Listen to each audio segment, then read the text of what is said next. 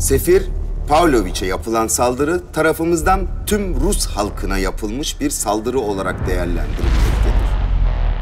Şimdi ne olacak? Osmanlı'yı yok edeceğiz. Ne? Rusya'nın zaferi. Nastrovya. Ordumuz böyle bir savaşı kaldıramayabilir paşalar. Savaşmadan bunu bilemeyiz Mithat Paşa. Bu bombadan sonra Sultan Hamit bile savaşın önüne geçemez.